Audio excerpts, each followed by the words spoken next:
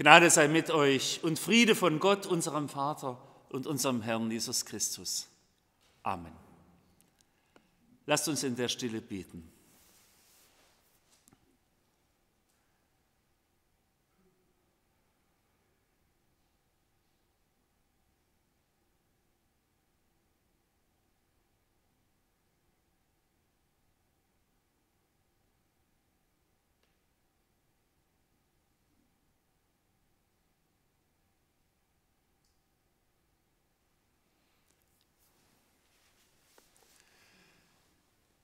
Höre den Predigtext für den ersten Sonntag nach Epiphanias, wie er uns gegeben ist, im ersten Korintherbrief im ersten Kapitel.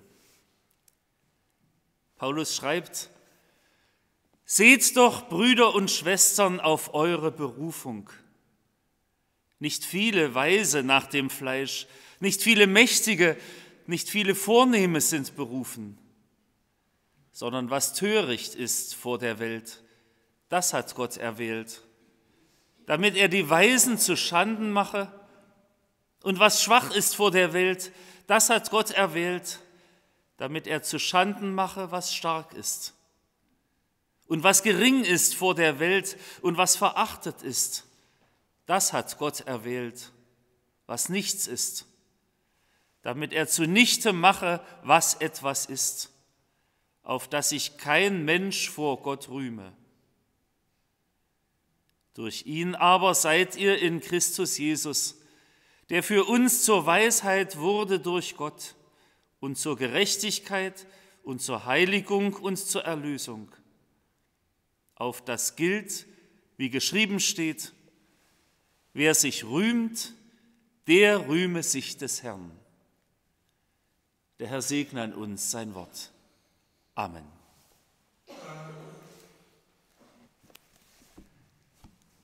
Liebe Gemeinde, einer der wichtigsten Gründe für Kirchenaustritte ist die Kirchensteuer. Von manchen Steuerberatern wird das geradezu empfohlen.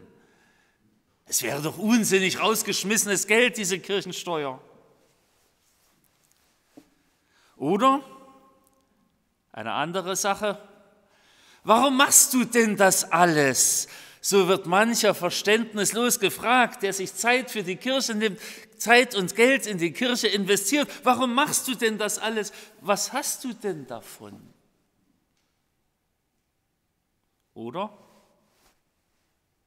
Du kannst ja mal dafür beten, sagte einer, und er meinte damit das schöne Wetter. Ja, aber eigentlich meinte er damit auch so etwas Komisches und Nutzloses wie das Beten, das machst ja nur du. Liebe Gemeinde, der Glaube wird von vielen belächelt, von vielen Menschen. Warum? Weil sie ihn nicht verstehen, weil sie ihn an der verkehrten Stelle zu verstehen suchen. Mit dem Glauben ist es wie mit der Liebe. Sich liebende Menschen werden oft auch von außen so ein bisschen belächelt. Ja, was sie sagen, was sie, wie sie sich benehmen und was sie auch einander schenken, was die Liebe auch für Blüten hervorbringt. Das liegt sowohl im Glauben als auch in der Liebe bei den Menschen an der Hingabe. Die Hingabe in der Liebe und im Glauben. Hingabe kennt nur der, der wirklich liebt. Hingabe ist auch ein Wesenszug des Glaubens. Hingabe. Wer nur nach Nutzen und nach Ausbeute fragt, der kennt keine Hingabe. Der wird sowohl der Liebe als auch dem Glauben gegenüber fremd bleiben. Hingabe kennenzulernen, das ist wohl ein Schlüssel zum Glauben. Die Hingabe. Und das geht in eine ganz andere Richtung, als die Welt im Allgemeinen geht. Hingabe ist nicht auf Erfolgskurs ausgerichtet. Hingabe ist nicht darauf ausgerichtet, für mich das Allerbeste und Schönste und Großartigste nun herauszuschlagen, Bei der Hingabe wird nicht am Ende gerechnet, was herauskommt, sondern Hingabe ist für den anderen da. Und unser Text will unseren Glauben einmal unter dem Schlüssel der Hingabe beleuchten. Und damit geht es nicht wie bei anderen Glaubensgemeinschaften darum, dass der Mensch sich zuerst Gott oder irgendeinem anderen Wesen eben hingeben muss, sondern am Anfang unseres Glaubens steht die Hingabe Gottes. Das ist das Erste. Gott gibt sich selbst dahin. Er organisiert und leitet nicht alles von oben herab, sondern er wird selbst Mensch und ein armer und niedriger noch dazu. Und gerade das ist es, was den Menschen zu allen Zeiten immer wieder so schwer fiel zu glauben, dass Gott so anders ist, so anders, als wir es uns vorstellen können, so anders, als wir meinen, dass er vielleicht sein könnte. Die Menschen suchen immer große Idole, große Idole, denen sie nachlaufen können. Gekrönte Häupter, Glanz und Macht, prominente Größen. Das ist es, was die Menschen begeistert, das, was sie vergöttern. Wenn Gott ein glorreicher Führer wäre, vielleicht würden dann die Menschen in Scharen gelaufen kommen. Aber Gott ist eben ganz anders. Er geht nicht den Weg des Erfolges, den die Welt gehen will. Er geht nicht den Weg, wie die Welt meint, dass er gegangen werden muss sondern er geht den Weg, der eben gar nicht auf Erfolg ausgerichtet ist, der sich gar nicht an Erfolg und Misserfolg messen lassen will. Gott geht den Weg der Hingabe. Und Hingabe heißt für Gott, alles zu geben. Wer gibt schon alles? Gern geben wir auch einmal ab. Wenn es sein muss, geben wir durchaus auch einmal viel ab. Aber es muss doch irgendwie auch noch etwas für uns bleiben. Gott hat für sich nichts mehr behalten.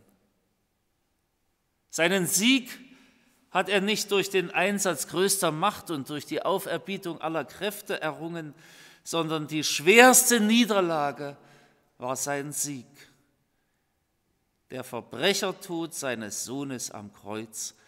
Alles hat er liebend dahingegeben. Und damit hat er uns das Leben gegeben. Und weil Gott mit dieser seiner Hingabe so anders ist, deshalb sind auch die, die sich um ihn scharen, andere Menschen.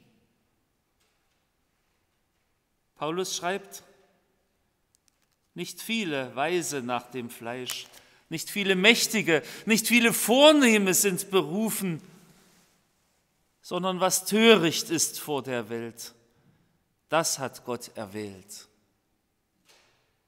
Welch eine Karriereleiter muss einer schon hinter sich haben, um irgendwo ganz oben anzukommen, im Kanzleramt zu arbeiten oder irgendeine hohe Funktion im Weißen Haus zu haben. Welch eine Karriereleiter machen manche Menschen. Und wie sehr orientieren wir uns immer wieder nach oben, immer wieder nach etwas Besserem. Wie weit schaffen wir es denn noch im Leben? Ein arabisches Sprichwort sagt, sage mir, mit wem du umgehst, und ich sage dir, wer du bist. Gott aber beruft seine Gemeinde aus anderen Menschen. Er sucht nicht den besseren Umgang. Und das ist das Zweite, was unser Text uns sagt. Gott beruft Menschen, die ihm nichts vorzuweisen haben. Das ist das Berufungskriterium Gottes. Er will sich denen hingeben, die selbst nichts zum Hingeben haben. Wer da noch meint, selbst etwas mit in die Waagschale werfen zu können, der ist dem Glauben noch recht fern. Das ist nicht eine Verachtung der Intelligenz, auch keine Ohrfeige für besitzende oder angesehene Menschen, aber es ist das Wissen, dass wir vor Gott alle nichts hinzugeben haben. Es ist das Bewusstsein, so wie Paulus sagt, die Torheit Gottes ist weiser als die Menschen sind. Gott beruft bedingungslos und seine Hingabe gilt bedingungslos. Jeder kann seine Hingabe empfangen. Das ist das Ziel seiner Hingabe, die bedingungslose Liebe zu uns Menschen. Und so will er uns rufen, so will er uns berufen zum ewigen Leben. Und das ist das Einzige, das Einzige, was sie auf Erden Zukunft hat. Seine Berufung für uns zum ewigen Leben. Der Weg zum ewigen Leben ist das Einzige, was auf dieser Erde wirklich Wert hat. Der Weg, der mit Gott weitergeht als jede weltliche Perspektive. Und deshalb sagt Paulus, wer sich rühmt, der rühme sich des Herrn. Und das sollte unsere Antwort sein. Wer sich rühmt, der rühme sich des Herrn. Denn auf unser Konto können wir sowieso keine Erfolge verbuchen. Wir können auch keine Erfolge Gott vorweisen. Wir haben ja doch alles, was wir haben von ihm. In einem Weihnachtslied heißt es, ich komme, bring und schenke dir, was du mir hast gegeben. Und das ist das Dritte, was uns unser Text sagt. Geben wir uns und alles, was wir haben, doch Gott hin. Geben wir uns ganz und gar Gott hin, denn wir haben ja sowieso alles von ihm bekommen. Wir wären ja sowieso ohne ihn nicht denkbar. Das sollte unsere Hingabe sein. Weil Gott sich uns hingegeben hat, deshalb sollten auch wir uns ihm hingeben. Und dann dürfen wir sicher sein, dass er unser Leben auf guten Bahnen und zum besten Ziel führen wird. Nimm hin, es ist mein Geist und Sinn, Herz, Seel und Mut, nimm alles hin und lass dir's wohlgefallen. Amen. Und der Friede Gottes, welcher höher ist als alle Vernunft, bewahre eure Herzen und Sinne in Christus Jesus. Amen.